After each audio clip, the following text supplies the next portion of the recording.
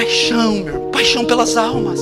Que são as almas para vocês? Você se esquece que elas têm o DNA, que elas são únicas, elas têm carne, osso como nós, elas têm uma alma distinta e imortal, que elas necessitam de um Salvador. Nós precisamos ter Jesus se compadeceu. Você não se compadece do estado da sua mãe. Você não se compadece do seu pai, dos seus irmãos, dos seus vizinhos, dos seus colegas de trabalho.